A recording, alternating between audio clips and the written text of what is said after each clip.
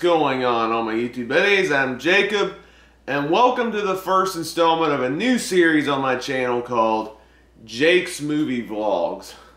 And in this series I'm gonna vlog some of my movie watching experiences with you guys, share some of my favorite movies of all time that are in my physical media collection, and just have a laid back video just talking about the movies that I love so much. This first movie I'm talking about was actually requested on Twitter. It was it won a Twitter poll when I came up with the idea and this is something I've been testing the waters on for quite a bit of while. I used to do commentary videos on my channel where I do extended videos where I talk about the movies in full depth while the movie's going on, but those videos were very time consuming to make and I wanted to do like a more simplistic version of that. It's kind of similar if you're a fan of Filmstock's YouTube channel, Chris from Film Filmstock. He had a series for a while called Now Playing where he vlogged some of his experiences watching movies and talking about some of his favorite movies of all time. It's very inspired by that where I'll be sitting talking about the movie, sharing some of my favorite aspects about the movie, and doing it in a fun way for you guys. I tested the waters with this back in October. I did a series called Eight Nights of Fright, and I did a vlog style video while watching Tim Burton's Beetlejuice, and that video went over very, very well. So that gave me some ideas to try to expand it into a full-on series, and here we are with Jake's movie vlogs. And so what am I doing for the first installment of this series? Well, this is actually a very fitting one. This is the first movie vlog I'm doing and what do you know, the first one I'm doing is the one that started it all for one of my favorite animation studios of all time with Disney. We're doing Snow White and the Seven Dwarfs.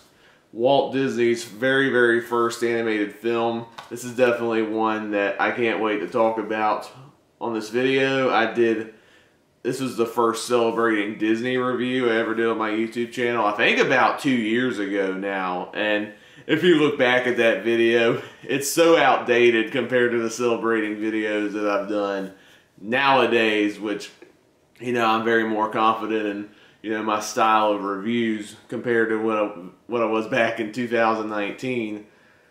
But I'm excited to share my thoughts on this movie again, do it in a vlog style video. If you're a fan of these type of videos, don't forget to click the like, the subscribe button to be notified of future videos. As I plan on doing more of these if this video does very, very well.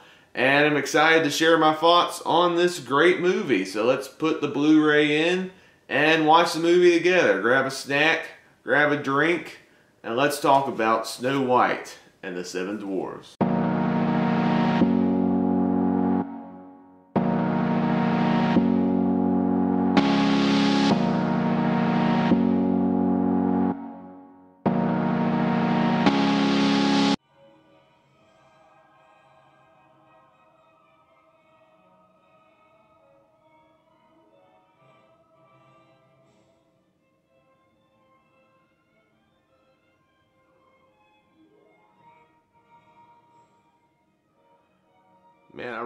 This quote. My sincere appreciation to the members of my staff whose loyalty and creative endeavor made possible this production. Great quote from the one and only Walt Disney. This was his one of his passion projects for sure. He uh, risked a lot to get this movie made. Like he mortgaged his own house. He was so passionate about making the first fully animated feature here in the U.S. And a lot of people didn't take it seriously. It was dubbed Disney's folly by a lot of skeptics and critics.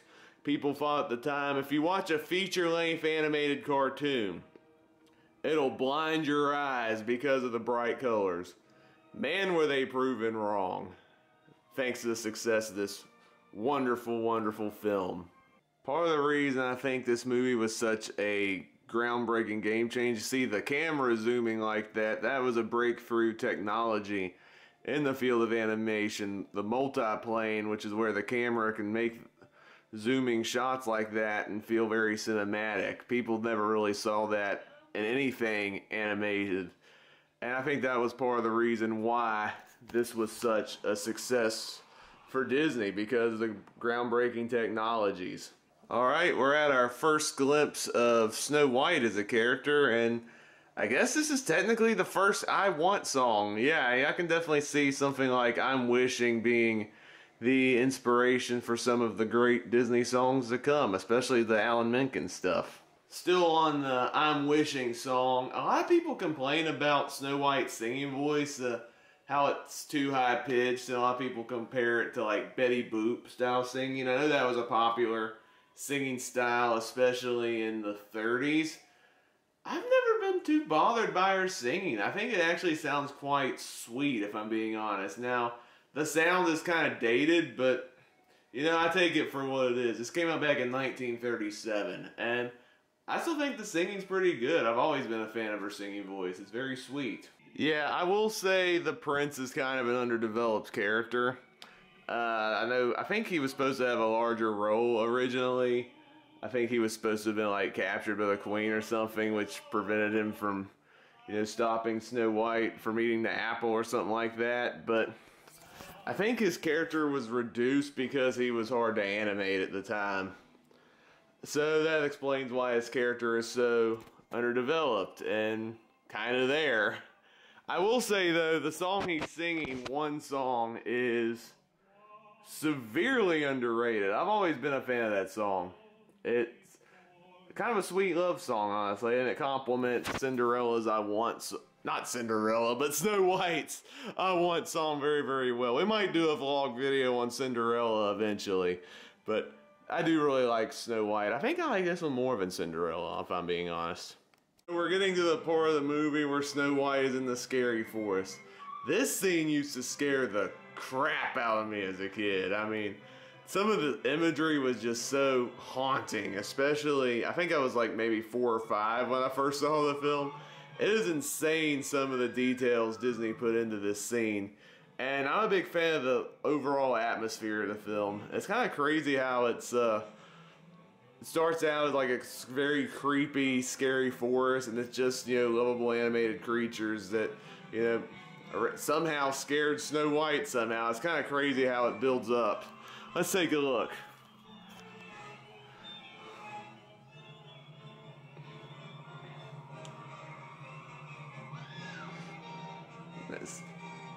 Man, just look at the detail on all this stuff.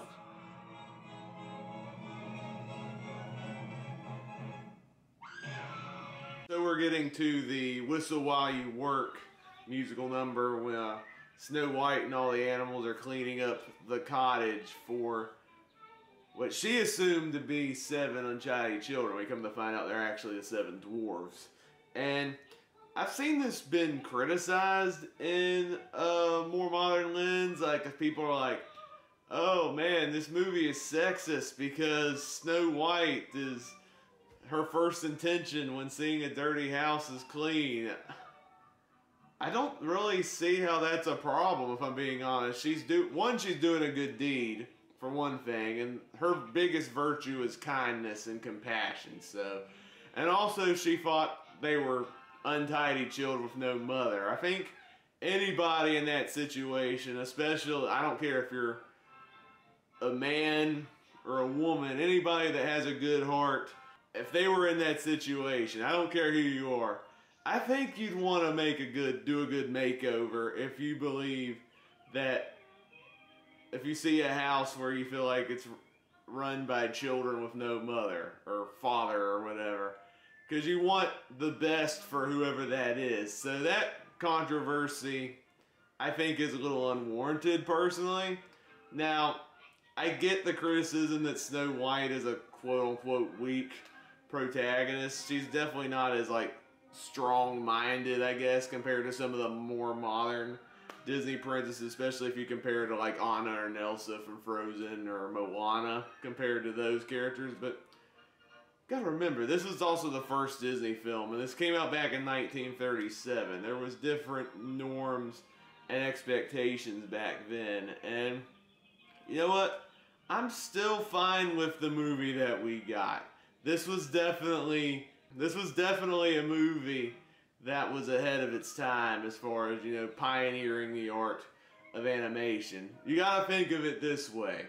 Without Snow White, you wouldn't have Frozen or Beauty and the Beast or Moana, any Disney film that has come since, or any other animation studio in that matter. We wouldn't even have Pixar or DreamWorks or Illumination or Blue Sky. Well, Blue Sky just recently shut down, sadly. Rest in peace to Blue Sky, but you get what I mean. Just the art of animation, the medium of animation, would not be what it is today without Snow White and the Seven Dwarfs. And I think this movie needs all the love and respect in the world. Even though, yeah, you can complain about how dated, I guess it is in some regards. And I'm not saying that Snow White is the best character or anything like that. She's not one of my absolute favorite Disney princesses. She's definitely, my big issue with her is that she is easily gullible.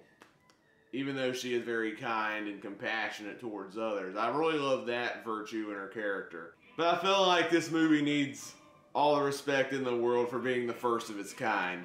And that's why I, love Snow White so much. And the story is still really great. I still really love the story. It's one of my absolute favorite classic Disney movies, if I'm being honest. Uh, I really love like the passion and hard work Walt and the crew put into making this movie so special. And it's crazy how well like the animation still holds up, especially for a movie this old too. I really love just all the fine details of this movie. It's such a fantastic work of art. Hey ho, hey ho, hey ho, it's home from work we go. Yes, easily the most iconic song of the whole movie. I love Hi Ho, it's so singable. I have a Disney playlist on Spotify where I put like every single Disney song from Disney soundtracks on Spotify. I created my own playlist of that. And it is so awesome whenever I come home from work and Hi Ho plays. It is such a blast. I love the song so much. It is such an earworm. And some of the most iconic shots of the movie, I think, are in the Hi Ho scene. Like, look at some of these shots. Like, just look at this. Look at this. Yep, there's them walking on the log. That's such an iconic shot. Hi ho, hi ho, hi ho, hi ho. And then that beautiful waterfall. Looks almost like the one in The Lion King, if I'm being honest. One of the biggest complaints I've heard on Snow White and the Seven Dwarves is that it's hard remembering all the dwarves' names. Well, here you go. Snow White's gonna name it for you. Doc, Happy, Sneezy, Dopey.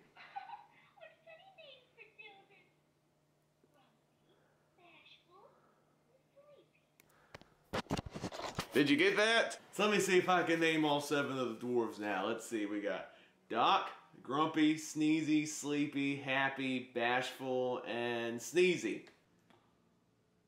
Did I get them? Doc, Happy, Grumpy, Sneezy, Sleepy, Bashful, and Happy. I think I got all seven. Let me know down in the comments below if you can name all seven of the dwarves without having to look them up. It is kind of hard because the dwarves are named after different personalities, but that's what makes the dwarves so fun. I think my two favorites are actually Grumpy and Doc. Uh, no, not Doc. Uh, Grumpy and Dopey are my favorites. Doc is up there too. I love his speech impediment. It's hilarious. Those are probably my top three, if I'm being honest. yeah, I always love that gag with the music and the noses popping up like that. Now, interesting story uh, to help boost morale in the Disney company because, you know, so much stakes was riding high on the success of Snow White. Walt Disney encouraged the animators to put as many cartoon gags as possible to help boost the morale and help uh, you know, give them confidence in their movies. That's why you see a lot of these slapsticky cartoon gags that you would see on a lot of like the classic Mickey Mouse cartoons and the silly symphonies all throughout Snow White. Some of like some of the animal gags and the dwarf gags, other stuff like that, all throughout the film. You see a lot of it during the whistle while you work sequence and some of the dwarf slapstick comedy throughout. There's just so many funny gags in this film that do get a good laugh out of me, especially someone who's a fan of those old school classic cartoons. So we got an entire song about the dwarves washing their hands and their faces. Man, Disney, I'm surprised you didn't revive this song during like the worst of the COVID pandemic to encourage people to wash their hands. That would have been quite genius, honestly. Disney, you missed opportunity there. Favorite cartoon gag in this entire movie coming up that involves Grumpy and his hesitation of washing his hands because of how grumpy he is. Here we go.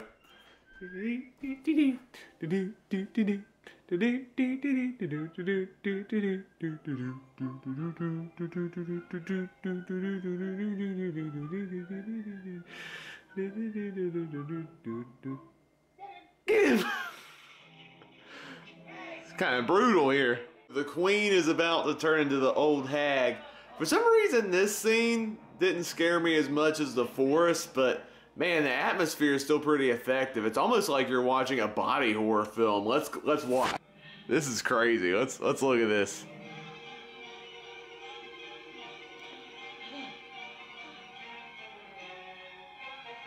Again, the atmosphere is just so good.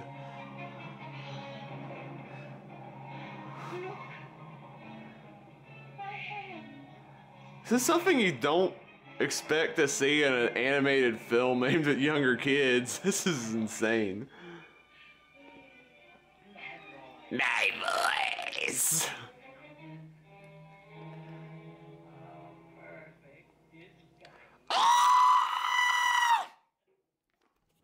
So, uh, funny story about that. So, the actress who voiced the Queen, because she did the voice for both the Queen and her hag disguise, and it blew the animators and Walt Disney away on how she was able to sound so evil when she turned to the hag. And she was asked, Oh, how did you talk like that? You're like, Oh, I took my fake teeth out. Well, that's one way to do it.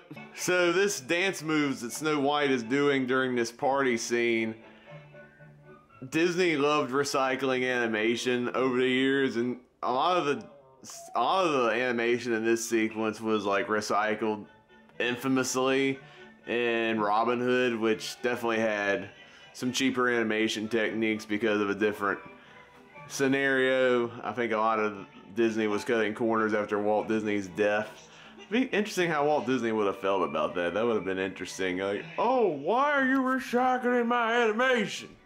But you know what? I still enjoy Robin Hood as a movie, but just the recycle animation could be a bit too much. It is quite interesting seeing how much Disney recycled their animation over the years, and they're still doing it today.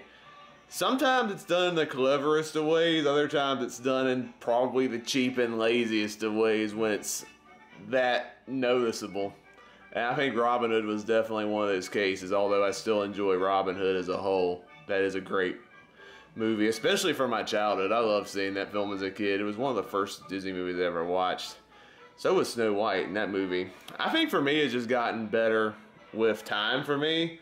I did a video a while back called Lessons Animation Taught Us, and I did a whole video on the Disney princesses as a whole, how as a kid, I kind of dismissed a lot of the Disney princess films because of my perceived notions of them being girly films as a kid. And I did a whole video about how some of the films helped overcome some of my childish prejudices, if you will, I guess, on some of these films. Like the three that sealed the deal for me that helped change my perspective on that attitude as a kid were Beauty and the Beast, Mulan, and The Little Mermaid, which I loved those films as a kid.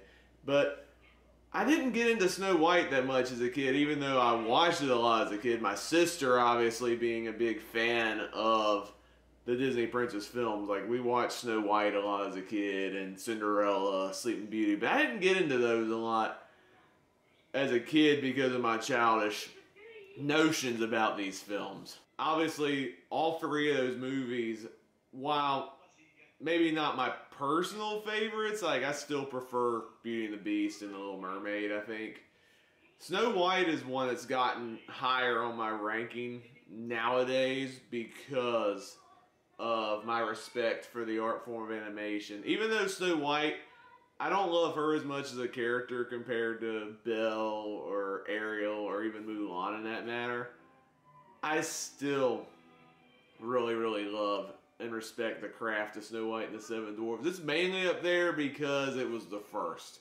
I love Walt Disney's dedication in building his studio, helped form animation as an art form to where it is today, and just how it put Disney on the map, especially as far as telling these fairy tale stories that they're still doing very, very well today and each generation starting with Snow White, and then we got Cinderella and Sleeping Beauty, and then eventually with The Little Mermaid, Beauty and the Beast, Aladdin, eventually The Princess and the Frog, Tangled, Moana, Frozen. All great fairy tale stories with iconic Disney princesses. I love almost all the movies, and Snow White is definitely one of them. It's weird I'm talking during this during the Someday My Prince Will Come number. That's the standout song of the whole movie. Again, another I Want song. It's crazy Snow White had two I Want songs. First I'm Wishing and now Someday My Prince Will Come. It's usually one, but they're both really, really great songs. I do really like both the songs. And again, I'm a fan of Snow White's singing voice. As dated and high-pitched and Betty Boopish that it sounds, I still really like the voice. I think it's a sweet voice. I think on a different note, since Disney loves doing the live action remakes nowadays, I think I remember reading one time that Marc Webb might direct a live action version of Snow White for Disney.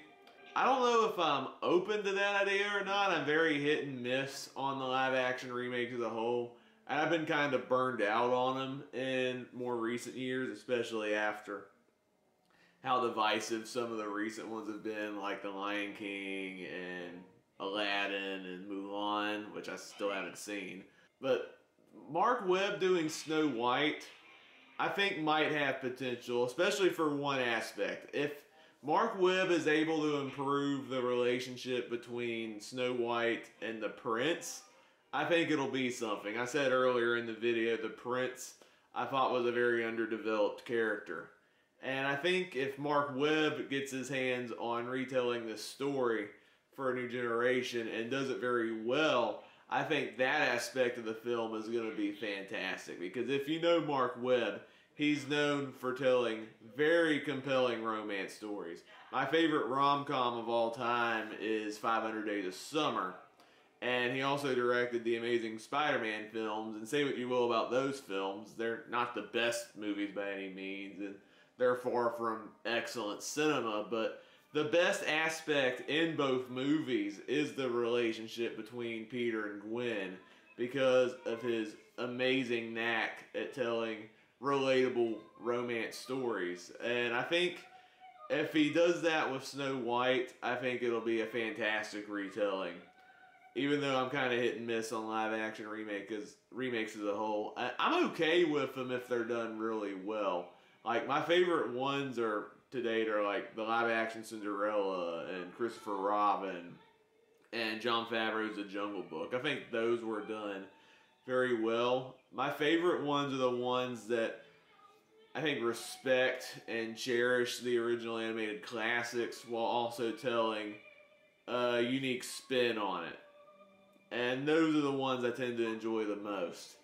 And I'm hoping if Marc Webb's Snow White gets made, I'm hoping it'll be on the positive side instead of the more negative side of some of the live action remakes. Again, I think the only like real issue I have with Snow White as a character is that she is easily gullible. Like the dwarfs tell her, don't let any strangers in the house. And the hag or the queen, a very obvious bad guy, she's willing to let her in because, you know, she offers her an apple and successfully tricks Snow White into letting her in the house because of her quote-unquote poor heart. Uh, that part of the movie, it, it's very nitpicky. I think that's the only aspect of her character that bothers me. But, I mean, it's still part of the story. I mean, I love the Queen as a character is one of my favorite classic Disney villains, and the poison apple is such an iconic image for the movie. Even with that nitpick against Snow White, I still stand by that Snow White is a solid character. I think because she does have good virtues overall, especially kindness and compassion. I like that even though she was a little disappointed at first that the dwarves were not children, I like that she still treats them as like she's a motherly figure to the dwarves. And I thought that was a good virtue to have. And I like the relationship that she has with the dwarves, even after she finds out who the characters actually are.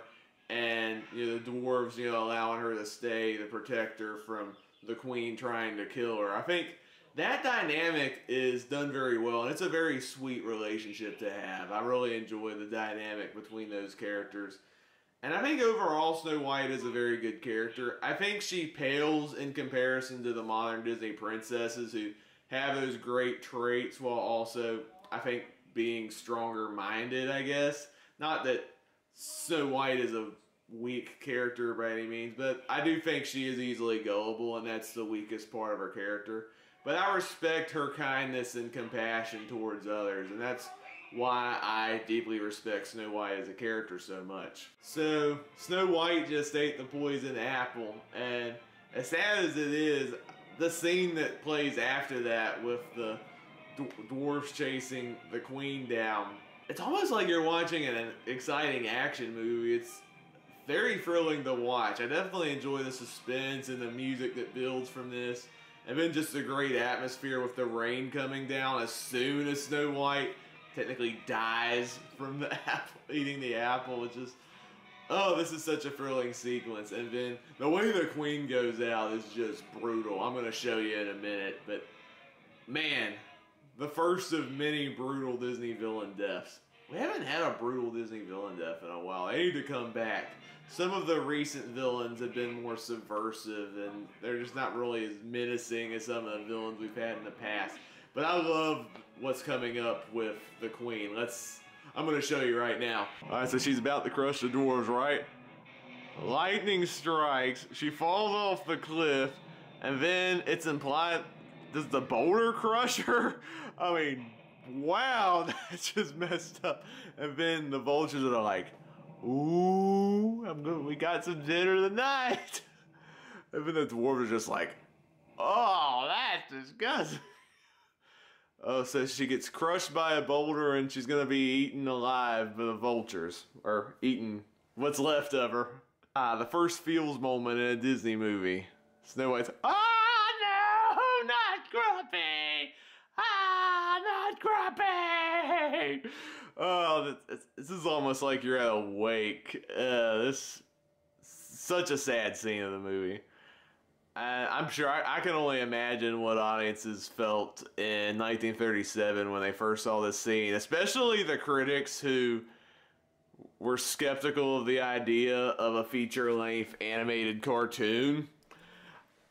The fact that this movie moved so many people back in the day. I remember I read during the world premiere of Snow White and the Seven Dwarfs, this movie got a standing ovation from critics and celebrities alike. And some of the celebrities that were in attendance during the premiere, come to find out, were Shirley Temple and Charlie Chaplin. Charlie Chaplin even said that Snow White was one of his favorite movies of all time. So if the greatest classic comedian of all time, Charlie Chaplin, said Snow White is a masterpiece, then bravo Disney for making something special. I criticize the prince all I want, but I always get goosebumps during this part. I honestly do. This movie does a great job at playing with the emotions. The fact that, you know, this you can laugh, you can cry, you can feel relieved when uh, the prince shows up and breaks the spell and you know you get the happily ever after ending. This is done so so well. And I can forgive the Prince for being underdeveloped because this is such an underrated song, too. The Kiss of Life. And Happily Ever After. Here we go. Woohoo!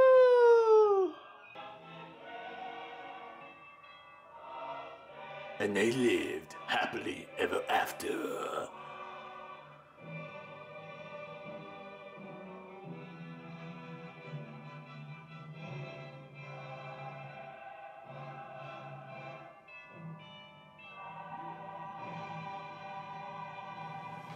And that wraps up my first ever Jake's movie vlog.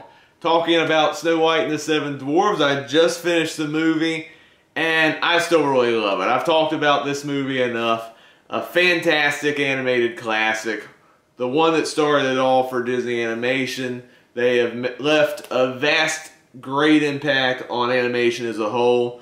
Definitely for the better again, without Snow White, we wouldn't have all the great Disney films that have come since. We wouldn't have had Pixar. We wouldn't have had DreamWorks. We wouldn't have had Studio Ghibli. We wouldn't have Laika. Animation would not be where it is today without Snow White and the Seven Dwarfs. And I think this movie still holds up beautifully. It's one of my favorite classic Disney films. It still holds up remarkably well. The animation is still beautiful. The songs are still top notch. I enjoy the characters. Snow White, I nitpick her to death, but she's still a great character in her own right. The seven dwarves are all so entertaining and are the scene stealers of the entire film. My favorites are Grumpy, Doc, and Dopey, but all the other dwarves are great as well. The Queen was such a great classic villain and still one of my favorites to this day a lot of iconic moments in this film. The Queen and the Poison Apple. All that stuff is great. The story is done very well. I can nitpick certain aspects, yes, with the relationship between Snow White and the Prince. That's a little underdeveloped. And then Snow White can be easily manipulated. That's like the weakest aspect of her character. And it does kind of annoy me a little bit. But overall, I still really, really love this movie. It gets a 5 out of 5 stars for me, and I give it a 96 out of 100 on the 100 point scale. Such a fantastic Disney movie, and where would we be today in the world of film without Snow White and the Seven Dwarfs? I am a sucker for animated films. I've always loved animation as a medium, especially now more than ever with all the many great animation studios making remarkable works of art animation is still an undervalued medium from a lot of people. And I'm glad that there's great animators and great directors and great studios that have worked very hard and tireless, tirelessly to make fantastic works of art from the people like me and so many others who appreciate these movies the most. I love Snow White and the Seven Dwarfs. So I hope you enjoyed this video. If there's any other movies you'd like me to tackle in this Jake's Movie Vlog series, let me know down in the comments below. It's mainly on movies that I own physically on physical media, so if you want to look at like some of my haul videos or complete collection videos, you can see all the movies that I own and have some ideas. I'll leave links in the description below or an iCard will pop up on my playlist of all those videos if to give me some ideas. I'll also leave more polls on Twitter to help decide other vlog videos I should do in this series. The next one I'm going to do will actually tie into Emily Blunt birthday month. I'm not going to reveal it just yet. You're just going to have to find out when the video drops. But I am going to do another movie that I did previously on Celebrating Disney. That's The Hint starring Emily Blunt. The Hint is an iconic follow-up to an iconic Disney film that Emily Blunt took the reins in. That's the hint I'm going to make. You'll have to find out for yourselves which one I'm going to do. But I'm excited to share that video too because I am a fan of Emily Blunt as an actress and I do enjoy the movie that she starred in that I'll be doing next time in this series. But if you enjoyed this video, let me know down in the comments below your thoughts on the video, your thoughts on Snow White as a whole. Do you love the film? Do you hate the film? Are you mixed on the film? But whatever your thoughts are, please be civil and respectful of others. And if you enjoyed this video, please give it a thumbs up.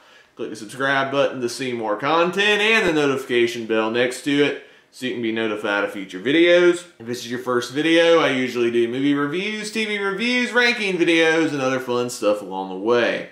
I have some more videos planned for you soon. Hope y'all have an amazing day. God bless, and I will see you next time. Goodbye!